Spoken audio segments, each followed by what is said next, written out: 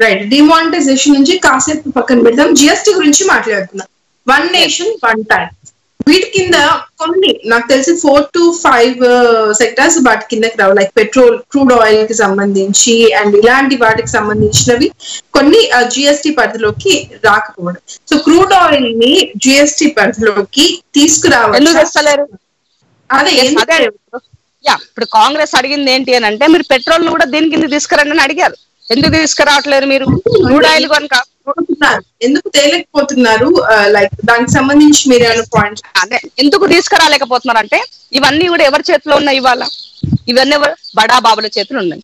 బడా బాబుల చేతిలో ఉన్నప్పుడు వాళ్ళ కడుపు నింపే పనిలో మీరు ఉన్నప్పుడు మరి ఈ సామాన్యుడి గురించి నువ్వు ఆలోచిస్తలేవు కదా. వాళ్ళ గురించి ఆలోచిస్తున్నావు కాబట్టి దానిని జిఎస్టీ పరిధిలోకి తీసుకురావసలు ట్రాన్స్పరెన్సీ అన్నది ఏర్పడుతుంది. అక్కడ నువ్వు ట్రాన్స్పరెన్సీ లేకుండా చేయాలనుకుంటున్నావు కాబట్టి ఈ పరిస్థితికి ఉన్నది. ఏదైనా మాట్లాడితే one nation one party one nation one tax one nation one ration card one అన్న వన్ నేషన్ అన్ని వన్ వన్ వన్ కానీ ఏది కూడా అది కొనెల్లో అయ్యేది లేదు తుది వరకు వచ్చేది లేదు. కేవలం అందుకే ఎప్పుడు నేను. మాటలకి ఎక్కువ చేతలకి తక్కువ. ఇది ఈ ప్రభుత్వం యొక్క వ్యవహారం. కాబట్టి ప్రతిసారి ప్రజలు మోసపోరు. మోసపోయారు ఇప్పటికి రెండు సార్లు మోసపోయినారు ఇంకా మోసపోవడానికి సిద్ధంగా లేరు. ఏదో ఒక రోజు డెఫినెట్గా ప్రశ్నిస్తారు. ఇవాళ ప్రజలు రోడ్లు ఎక్కకపోవచ్చు ఇప్పుడున్నటువంటి పరిస్థితుల్లో ఈ జరుగుతున్నటువంటి నేపథ్యంలో రోడ్లు ఎక్కకపోయి ఉండొచ్చు. కానీ ఎక్కాల్సినప్పుడు ఎక్కడ ఏ- చేయాలో ఎట్లా చేయాలో చేస్తారు. ఇప్పుడున్నటువంటి సిచ్యువేషన్లో నేను మనిషిని తగలకుండా నా ప్రాణాలు కాపాడుకుంటే చాలా ప్రజలు కోరుకుంటున్నారు కాబట్టి ఏది ఏమి ఇచ్చినా కూడా అన్ని భరిస్తున్నారు. ఏది కూడా అంటే పిల్లిని రూమ్లో వేసి కొడితే అది ఎప్పుడో ఒకసారి తిరిగి మనల్ని అది చేస్తుంది. కాబట్టి మనిషి కూడా అంతే. సో ఎంతసేపు నువ్వు ఎంత ఒత్తిడి చేస్తే వాడు అంత అదిగా పైకి లేవడానికి ఒక అవకాశం కల్పించిన వాళ్ళు అవుతారు. ఏది కూడా కేంద్ర రాష్ట్ర ప్రభుత్వాల వ్యవహార శైలి పట్ల ఇవాళ చేస్తున్నటువంటి ఈ తప్పిదాలను సరిదిద్దుకోకపోతే ఎప్పటికీ కూడా మనం డెవలప్డ్ కంట్రీగా కాకుండా డెవలపింగ్ కంట్రీగానే మనం మిగిలిపోయేటువంటి పరిస్థితి ఉంటది. ఆ వాటికి మీరు పునాదులు వేయొద్దని మాత్రం కోరుకుంటుంది రైట్ మీరు అన్న పాయింట్కి నేను ఒక పాయింట్ కూడా యాడ్ చేద్దాం అనుకుంటున్నాను. డెవలపింగ్ కంట్రీగా అన్నారు కదా. సో డెవలపింగ్ కంట్రీయే ఇన్ని టాక్సెస్ ఇస్తుంటే కొన్ని పూర్ కంట్రీస్ ఉన్నాయి. ఆ, నేను ఎగ్జాంపుల్ కూడా చెప్పగలను. కొన్ని పూర్ కంట్రీస్ పెట్రోలియం క్రూడ్ పైన అసలు ట్యాక్సే లేకుండా ప్రజలకి అంత కంట్రీస్ కూడా ఉన్నాయి. మీకు ఈ విషయం ఐడియా ఉందా? లైక్ పూర్ కంట్రీసే అందిస్తున్నప్పుడు డెవలపింగ్ కంట్రీ అయ్యింది మన దగ్గర కొంచెం ఖజానా ఉంది. నాకు తెలిసి ప్రతి డిబేట్లో కూడా ఎవరైనా భారతదేశం పోర్ కంట్రీ అంటే నేనైతే ఒప్పుకోను. ఎందుకంటే ఖచ్చితంగా చాలా చక్కగా డెవలప్డ్ కంట్రీ అయిపోయేది. ఒకవేళ ఈ రాజకీయ నాయకులు కానీ రాజకీయాలు చేయకపోతే మన భారతదేశం. ఏమంటారు? ఒకటి మా ఇప్పుడు ఇవాళ ఈ కంట్రీ డెవలపింగ్ కంట్రీగా ఎందుకు చెప్పుకుంటున్నాము అని డెవలప్డ్గా చెప్పుకోవట్లేము ఇంగుగానే మాట్లాడుతున్నాం ఎందుకు అని అంటే ఇక్కడ ఉన్నటువంటి పరిస్థితుల దృష్ట్యా ఇక్కడ ఉన్నటువంటి ఎడ్యుకేషన్ పరిస్థితుల దృష్ట్యా ఇక్కడ ఉన్నటువంటి ఇన్ఫ్రాస్ట్రక్చర్ దృష్ట్యా ఇవాళ మనము కొంత ఆధారపడి బతికేటువంటి పరిస్థితుల్లో మనం ఉన్నాం ఇంకా. కంప్లీట్ వనరులు మనం ఏర్పాటు చేసుకోలేకపోతున్నాం. ఇప్పుడు చైనాతోనే మనకు కొంత ఇబ్బంది వచ్చినటువంటి పరిస్థితి. ఈ సమయంలో నీకు ఒక అవకాశం వచ్చింది. నీ వస్తువు నువ్వే ప్రొడక్ట్ చేసుకోవడానికి నీకు ఒక స్కోప్ దొరికింది. ఇక్కడ ఉన్నటువంటి వాళ్ళని మీరు డెవలప్ చేసుకోవడం కోసము ఇక్కడ ఉన్నటువంటి ఇండస్ట్రీని డెవలప్ చేయడం కోసము కొత్తవి క్రియేట్ చేయడం కోసం నీకు అవకాశం వచ్చినప్పుడు ఫస్ట్ ఆఫ్ ఆల్ చేయడానికి ఏం కావాలి? ఇన్కమ్ కావాలి. ఇన్కమ్ కావాలంటే ఇప్పటికిప్పుడు వాళ్ళ దగ్గర లేనట్టు పరిస్థితి. ఈ సమయంలో ఏం చేయాలి? ప్రభుత్వాలు ఆదుకొని స్కిల్స్ ఉన్నటువంటి యువతను ఎడ్యుకేట్ చేసి ఆ యువతను ట్రైన్ చేసి మీకు ఇన్కమ్ మీకు ఇంత మేము ఇవి లోన్లు ఇస్తున్నాము. ఎలాంటి కొలాబరేషన్ ఏవి పెట్టకుండానే మీకు లోన్స్ ఇస్తున్నాము. మీరు చెయ్యండి చేసి కట్టండి. దీని ద్వారా గనక నువ్వు నువ్వు గనక ట్రైన్ చేసినట్లయితే ఆటోమేటిక్గా మనం డెవలప్డ్ కిందకి వచ్చేస్తాం. నీకు ఇప్పుడు ఒక అవకాశం వచ్చింది. దీన్ని వాడుకోవాలి ప్రాపర్గా గవర్నమెంట్ ఇప్పుడు. కానీ ఆ పరిస్థితి మనకు కనబడుతుందా? ఏమైనా మాట్లాడితే మళ్ళా ప్రజల్ని సెంటిమెంట్తో కొట్టే పరిస్థితుల్లో ఏంటి? చైనా వస్తువులు వాడద్దు. చైనా వస్తువులు వాడొద్దు అని అంటే ఇవాళ ప్రతి ఒక్కటి ఇక్కడ కూర్చొని నేను మాట్లాడే ఈ ఫోన్ కూడా అక్కడ నుంచి వచ్చినటువంటి పరిస్థితి. ఎవ్రీథింగ్ వాళ్ళపైన ఆధారపడిన పరిస్థితి. అది రావద్దు ఇక్కడికి అని అంటే దానికన్నా ముందు నువ్వేం చేయాలి? ఇక్కడ నువ్వు ఆ సోర్స్ని క్రియేట్ చేసుకోవాలి. సోర్స్ లేకుండా అది వద్దు అని అనుకుంటే దాని- అది ఏ రకంగా తీసుకుంటారు? ఒక అంశం అయితే రెండవది నువ్వు అనుమతిస్తేనే కదా ఇండియాకి వచ్చింది. నీ వర్తక వ్యాపారాలు వాళ్ళతో కొనసాగుతూ నీకున్నటువంటి ఒప్పందాల నేపథ్యంలో నువ్వు పర్మిషన్ ఇస్తేనే అది నీ ఇండియా మన ఇండియాకి వచ్చింది. మరి ఇండియాకి వచ్చినప్పుడు నువ్వు ఎట్లా చెప్తావు? అది ముందు అను వాళ్ళతోన నువ్వు డిటాచ్ అయిపోతాయి కదా? ఉంటాయి ఇందిరా శుభన్ గారు వరల్డ్ ట్రేడ్ ఆర్గనైజేషన్ ప్రకారం కొన్ని రూల్స్ అండ్ రెగ్యులేషన్స్ ఉంటాయి. మనం. ఇతర దేశాల గూడ్స్ కానీ వాటిని ప్రొహిబిట్ చేయలేం. కాకపోతే ఏమైనా సెక్యూరిటీ రీజన్స్ కావచ్చు హెల్త్ రీజన్స్ కావచ్చు చెప్పి వాటిని మనం బ్యాన్ చేసుకోవచ్చు. సో యూనో uh, uh, ఒక కంట్రీ నుంచి వచ్చే గూడ్స్ని ఒక గవర్నమెంట్కి పాలసీస్ ప్రకారం వి కాన్ బ్యాన్ కదా. అదే చెప్తున్నా. అంటే మనము ప్రజలని ఫూల్ చేయొద్దు అని చెప్తున్నా. పాజిబిలిటీ అయ్యే మాత్రమే ప్రజలకు చెప్పండి. పాజిబిలిటీ లేని దాన్ని మళ్ళీ దేశభక్తి పేరుతోటి ప్రజల్ని మోసం చేసే పనిలో పడద్దు. మేము దేశం కోసం ఎంతో చేస్తున్నాం అని చెప్పుకునే దాంట్లో ఇవాళ చైనాతోన అదవుతున్న సందర్భంలో మీరు ఇది వాడకండి ఇది మన దేశభక్తి మీరు నిరూపించుకోండి అని మీరు మాట్లాడుతున్నారు కదా. మీరు ఎన్నిసార్లు నిరూపించుకోమంటే అన్నిసార్లు ప్రజలు నిరూపించుకున్నారు. డిమానిటైజేషన్ నుంచి నిన్న కరోనా వరకు తాళాలు చప్పట్లతో జ్యోతులు పెట్టే దగ్గర నుంచి మీ ప్రసాదము ఏ మీరు ఇచ్చే ప్రసాదం వినేంత వరకు వాళ్ళు మీ వాళ్ళ దేశభక్తిని చాటుకున్నారు. ఇక ఇంతకన్నా ఏం కావాలో చెప్పండి ప్రజలకి. ప్రజలు ఇంతగానో మిమ్మల్ని అర్థం చేసుకుంటున్నారు ఇంకా కూడా ఏదో చేస్తారు నరేంద్ర మోదీ అని అర్థం చేసుకొని చేస్తున్నారు. మరి మీరు ఇంకా కూడా తేరుకోకపోతే ఏంటి పరిస్థితి? కాబట్టి ఏదైనప్పటికీ కూడా ఇదంతా కూడా ఒక ట్రాష్ ఈ ప్రభు ఈ- కేంద్ర ప్రభుత్వానికి పాలన రాదు అన్నది ఒప్పుకోవాల్సినటువంటి అవసరం ఉన్నది.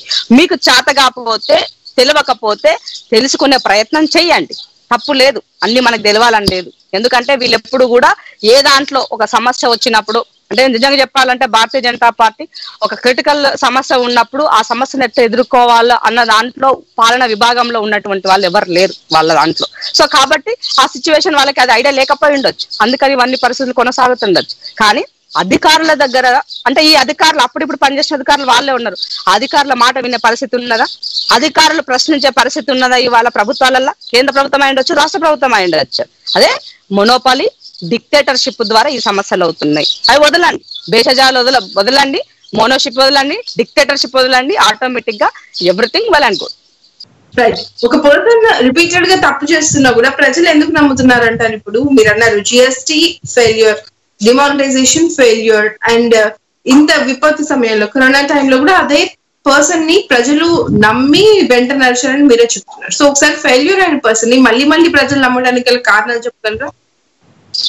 ఎప్పుడు నమ్మినారు చెప్పండి మనకి మీకు మొన్న వచ్చిన సీట్లని? రెండోసారి మీరు అధికారంలోకి వచ్చిన తర్వాత మీరు వన్ సైడ్గా గవర్నమెంట్ సాధించే ప్రయత్నానికి మీరు చేస్తున్నారు. తర్వాత మీరు రాష్ట్రాలలో ఉన్న తర్వాత మీరున్న రాష్ట్రాలలో మళ్ళీ అధికారం నిలుపుకోవడానికి ఎన్ని కష్టాలు పడ్డారు? దానికి ఎగ్జాంపుల్ ఒక కర్ణాటక ఇంకో ఎగ్జాంపుల్ ఇదేంటి మన ఆ, మహారాష్ట్ర. సో దీని మీద మధ్యప్రదేశ్ మధ్యప్రదేశ్ పరిస్థితి ఏం చేశారు? రాజస్థాన్ పరిస్థితి ఏం చేశారు? ఇవన్నీ మన కళ్ళ ముందున్న ఎగ్జాంపుల్స్ మీరు మీరు అధికారం కోల్పోయిన దగ్గర మళ్ళా ఎట్లా నా యొక్క అంటే వాళ్ళ ఉన్నటువంటి లూప్లను ఉపయోగించుకొని ఒకటి ఉన్నటువంటి గవర్నర్ వ్యవస్థను ఉపయోగించుకొని ఎట్లా మళ్ళీ రాష్ట్రాలను ఆకుపై చేసుకున్న దాంతో నీవు యొక్క నీ- యొక్క కాషాయం నింపుకునే పరిస్థితిలో నువ్వు వచ్చినావు తప్ప నిజంగా జెన్యున్గా ప్రజలు ఓటు వేస్తే గెలిచినారా? మీరు లాస్ట్ టర్మ్లో చేసినటువంటి పనులు చెప్పుకొని రెండో టర్మ్లో మీరు ఎలక్షన్లకు వచ్చినారా? లేదు కదా? ఎమోషనల్కి ఎమోషనల్ క్రియేట్ చేశారు. సైనికులను వాడుకున్నారు. ఇది మీరు చేసినట్టు చివరికి మొన్న చైనాకి సంబంధించినటువంటి చైనా బార్డర్లో ఇరవై మంది ప్రాణాలు కోల్పోతే వాళ్ళ గురించి ఎక్కడ కూడా వాళ్ళ త్యాగాల గురించి మీరు మీడియా మొత్తం అంతా నెగిటివ్ ప్రొపగండ చేసింది. అంటే ప్రభుత్వం తప్పు కాదు అధికారుల తప్పు అనే విధంగా మాట్లాడినారు. నరేంద్ర మోదీ లెవెల్లో ఆయన చెప్పినటువంటిది ఏంటి? చైనా బార్డర్లో వచ్చే మన మన బార్డర్లోకి చైనా వాళ్ళు రాలేదని చెప్పారు. మరి రాకపోతే నా సైనికులు ఎట్లా ప్రాణాలు కోల్పోయినారు? ఇది ఇది కదా అంటే ప్రధానమంత్రి లెవెల్లో అవగాహన లేకుండా ఉండదు కదా ఆయనకి. ఆయన మాట్లాడినటువంటి మాట వ్యవహార శైలి చెప్తున్నాను నేను. ఇప్పుడు నేను అన్న మాటలు కాదు ఆయన చెప్పిందే నేను చెప్తున్నాను మీకు. మరి బార్డర్లోనే చొరబడకపోతే అసలు ప్రాణాలు ఎట్లా పోయినాయి? కొన్ని ఎవరు చంపినారు వాళ్ళని? కొన్ని వీళ్ళు పోయి చైనా వాళ్ళ బార్డర్లు మనం వాళ్ళని ఆకుపై చేసుకోవడం కోసము భారతదేశ బార్డర్ నుంచి చైనా బార్డర్లకు పోయినామా మనం ఏమన్నా? అదన్నా చెప్పాలి కదా కన్ఫర్మ్ చేయాలి కదా. కాబట్టి అందుకే ఫూలిష్గా మాట్లాడొద్దు. ఏదో ఏది చెప్పినా ప్రజలు వింటున్నారు కదా అన్ని అన్ని మాట్లాడితే మాత్రం ఎప్పుడో ఒకసారి తప్పు పప్పులో కాలేసిన వాళ్ళు అవుతారు కాబట్టి మా వైఖరిని మార్చుకోవాల్సినటువంటి అయితే అవసరం ఉన్నది. చివరిగా ఫైనల్గా ఒకటే మాట చెప్పదలుచుకుందామా ఈ సమయంలో కరోనా విపత్తు సమయంలో ప్రజల పైన భారం మోపడం కరెక్ట్ కాదు. ఒక మానవత్వ దృక్పథంతో అండ్ ఒక నేషనల్ పార్టీలో ఒక పర్సన్గా మీరు స్పోక్స్ పర్సన్గా ఉన్నారు as a female as a women management బాగా తెలుసుంటుంది సో ఇలాంటి టైంలో మనం చూస్తున్నాం పెట్రోల్ అండ్ డీజిల్ ప్రైజెస్ ఒకసారి చూసుకున్నట్లయితే at least minimum ten rupees అనే డిఫరెన్స్ ఉండేది ఇంతకు ముందు. ట్వంటీ థర్టీ రూపీస్ ఈ డిఫరెన్స్ ఉండేది. సో ఈ డిఫరెన్స్ కూడా లేకుండా పెట్రోల్ అండ్ డీజిల్ ప్రైజెస్ ఈక్వల్గా అంతకన్నా ఎక్కువగా డీజిల్ ప్రైసెస్ వెళ్తున్న టైంలో ఎలా మనం మేనేజ్ చేయాలి అండ్ సొల్యూషన్ ఏంటి ఏం చేస్తే బాగుంటుంది? ఎస్ ఇప్పుడు ఉన్నటువంటి సిచ్యువేషన్ ఏమంటున్నారంటే రాష్ట్రాలు ఇచ్చేటువంటి సుంకము పెట్రోల్ డీజిల్ పైన వేసేటువంటి సుంకంని ముప్పై రెండు నుంచి ఇరవై ఏడు నుంచి ముప్పై రెండు రూపాయల మధ్య ఉంటుంది. సో మీరు దీనిని తగ్గించినట్లయితే కొంత తగ్గించుకోవడానికి అవకాశం దొరుకుతుంది. మార్కెట్లో లాగా మరి ఇప్పుడు అవన్నీ ట్యాక్స్లు కదా మళ్ళీ అందులో నుంచి సెంట్రల్ గవర్నమెంట్ కూడా వెళ్తుంది కదా ఇప్పుడు తగ్గిస్తారు కరెక్టే ఇప్పుడు వన్ నేషన్ వన్ ట్యాక్స్ అని మాట్లాడినారు కదమ్మా వన్ నేషన్ వన్ ట్యాక్స్ అని మాట్లాడినారు వన్ నేషన్ వన్ ట్యాక్స్ మాట్లాడినప్పుడు రాష్ట్రానికి ఒక ట్యాక్స్ కేంద్రానికి ఒక ట్యాక్స్ ఎందుకు ఉండాలా మీరు చెప్పండి రాష్ట్రానికి ఒక ట్యాక్స్ కేంద్రానికి ఎందుకు ఉండాలి దీనిపైన మీరు ఆ పరిధిలోకి దాన్ని తీసుకురండి ఆటోమేటిక్గా సెట్ ఎవరు ప్రశ్నించారు కదా మిమ్మల్ని ట్రాన్స్పరెన్సీ లోకి వచ్చినట్టే కదా వ్యవస్థ కాంగ్రెస్ గవర్నమెంట్ అధికారంలోకి వస్తే జిఎస్టీ పరిధిలో పెట్రోల్ ప్రైసెస్ క్రూడ్ ఆయిల్ తీసుకొస్తుందా? ఎస్ డెఫినెట్గా. అంటే ఇప్పుడు నీకు ఉన్నటువంటి సందర్భంలో నీకు ఉన్నటువంటి సిచ్యువేషన్లో నా సందర్భంలో క్రూడ్ ఆయిల్ ఎక్కువ ఉంది కాబట్టి పెట్రోల్ డీజిల్ రేట్లు ఆ- రేంజ్లో ఉన్నాయి. ఇవాళ నీకు నా హయాంలో కన్నా నీ హయాంకి వచ్చేసరికి అది ఫిఫ్టీ పర్సెంట్ పడిపోయింది క్రూడ్ ఆయిల్ రేట్స్. సో ఇవాళ మీరు నార్మల్ ప్రైస్లో ప్రజలకు ఇప్పుడు ప్రస్తుతానికి మన దేశంలో ఉండొచ్చు మన రాష్ట్రంలో అయ్యుండొచ్చు.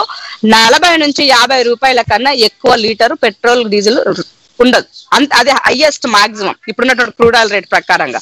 కానీ మీరు ఆ ప్రైజ్ ఇవ్వకుండా అంతకి అంత వంద రూపాయలకు చేరుకునే పరిస్థితిలో ఇవాళ ఉన్నప్పుడు ఇక ఈ వ్యవస్థ ట్రాన్స్పరెన్సీగా ఉందని నేను ఎట్లా నమ్మాలి? నువ్వు ట్రాన్స్పరెన్సీగా పనిచేసినట్లు నమ్మాలి. పేదోళ్ళ కోసం నువ్వు పనిచేస్తున్న ఎట్లా నమ్మాలి?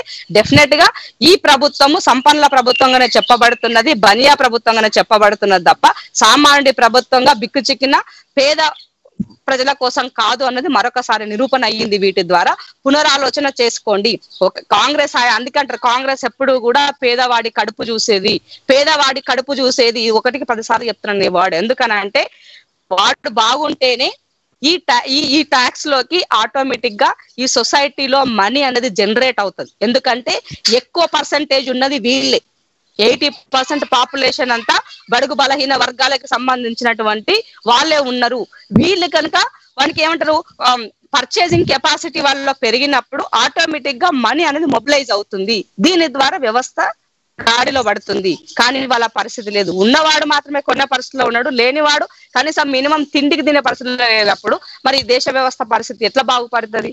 అందుకనే ఎప్పుడు కూడా కాంగ్రెస్ ప్రజల ప్రభుత్వమే ప్రజల కోసమే పేదవాడి కోసమే ఉన్నటువంటి ప్రభుత్వం డెఫినెట్గా కాంగ్రెస్ అధికారంలోకి వస్తే మేము చెప్పినటువంటి ఈ అంశాలు డెఫినెట్గా వాటిలో మార్పులు చేర్పులు చేస్తామన్నమాట వాస్తవం.